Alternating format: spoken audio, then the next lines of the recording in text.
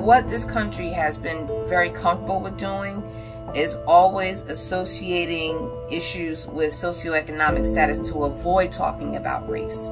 And Voices for Health Justice allows you not to have to do that because we talk about health inequities right where they stem from. We're going into the hardest hit areas of the county.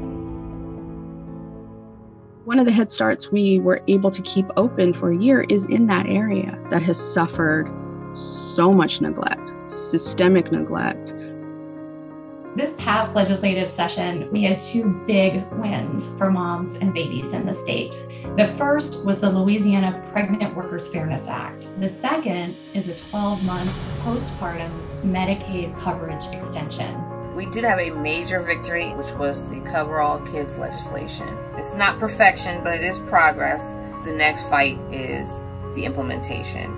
Healthcare should not be a commodity. It should be a right. It should be universal. Knowledge is power, and by sharing credible information, we are building a real power structure that makes it harder for things to be reversed. We want to change the discourse. This project has been an avenue through which we've been able to tie experiences of systemic oppression with health outcomes.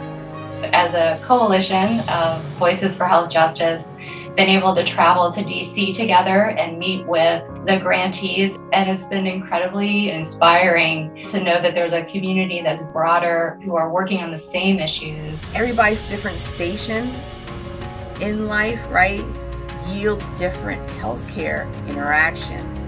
Those manifestations come out and it galvanizes people to want to come together to stop it across the entire board. And that's something that we get to do in Voices for Health Justice. We lift every voice from the youngest to the most seasoned.